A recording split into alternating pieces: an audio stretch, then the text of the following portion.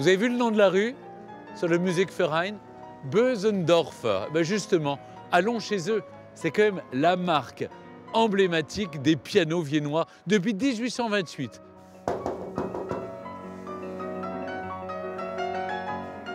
Hallo, guten Abend. Da, danke. Da- Darf ich reinkommen? Ja, bitte. Alexandra. Willkommen Danke. Non seulement j'ai le droit d'écouter du piano, mais je peux en plus en jouer. Alors bon, je, je vais éviter de lui dire que je ne sais pas comment jouer du piano. Ah, ils sont tous là. Ils sont beaux. Hmm. C'est superbe.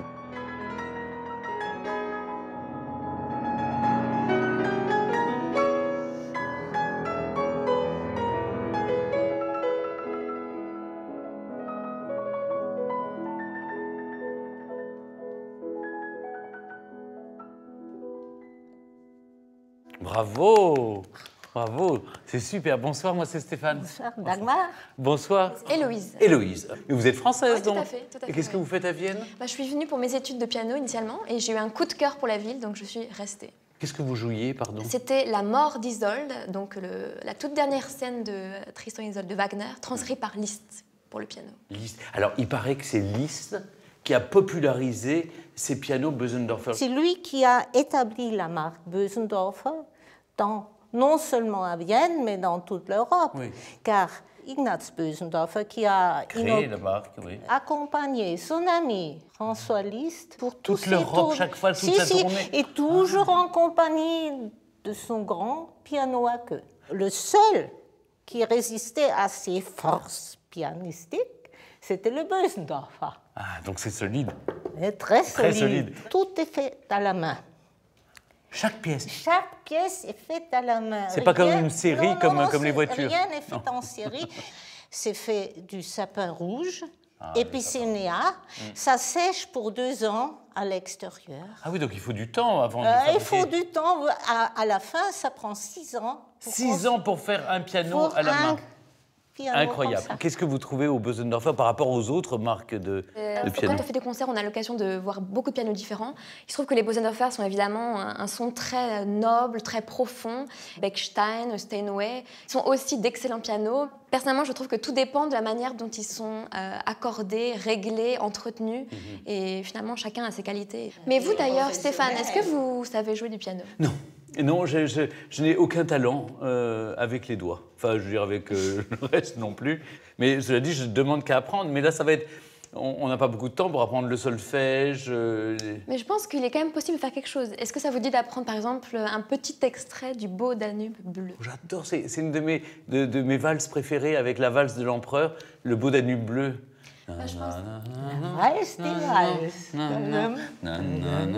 Malheureusement, je ne peux pas danser. Pourquoi avec vous pouvez pas vous Ah, à cause de la jambe. Ouais, ça dit moi aussi. Et puis en plus, il faut que je me réserve parce que je dois faire un, un triple salto arrière Oh. et une, un flip et une pirouette en patin à glace.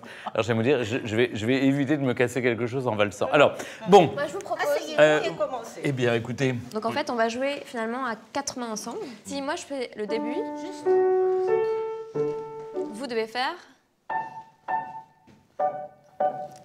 Voilà, donc la position, c'est avec le pouce en plus ici. Donc si on reste à la même position, ça fait. D'abord les dos du haut. Et après les dos du bas. d'accord. 1, 2, 3, 1, 2, 3, 1. Ouais, presque. Non, mais on y est presque. En fait, les notes, c'est bon, c'est juste le rythme. Quand on danse, c'est 1, 2, 3, 1, 2, 3, 1, 2, 3. Elle va me taper sur les doigts, je sens. Non, non, non. Quand j'étais petit, il y avait une prof qui me tapait sur les doigts quand je jouais du piano. Je sens que Dagmar est du genre à avoir une badine et tac. Alors, on est parti. Donc quand je fais 1, vous, vous attaquez sur le 3, on est d'accord? Oui.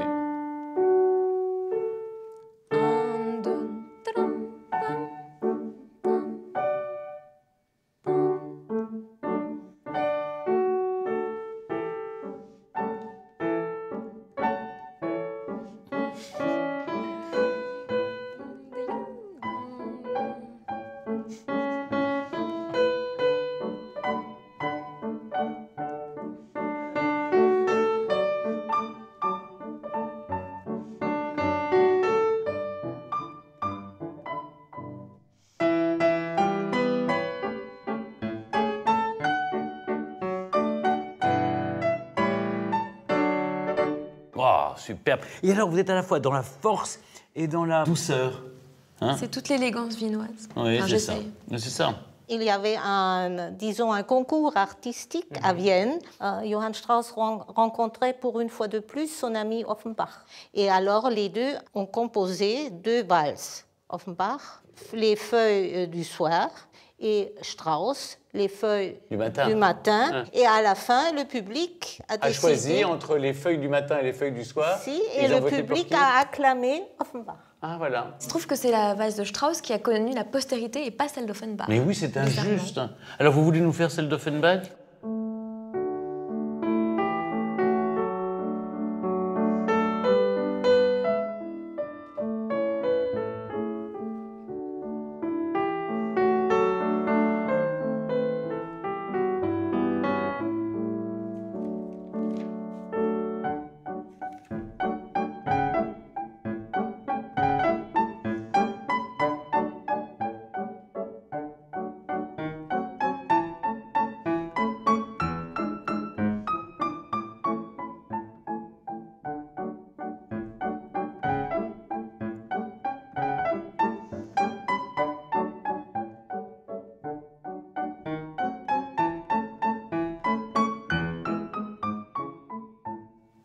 Bravo. Bravo, bravo. Superbe. Ben, vous avez réhabilité cette valse d'Offenbach. C'est vrai qu'elle n'est pas passée à la postérité. Pas du tout. Alors peut-être on peut trouver les feuilles du matin, parce que surtout, parfois, il la donne pour euh, le concert du Nouvel An.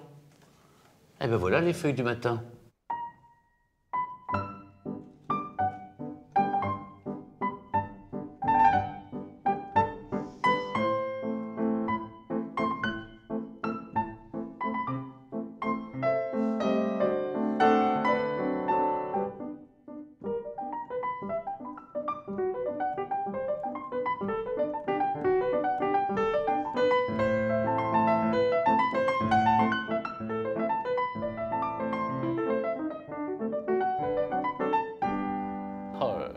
C'est superbe. hein. Alors, si vous préférez les feuilles du soir, euh, votez 1. Si vous préférez les feuilles du matin, votez 2.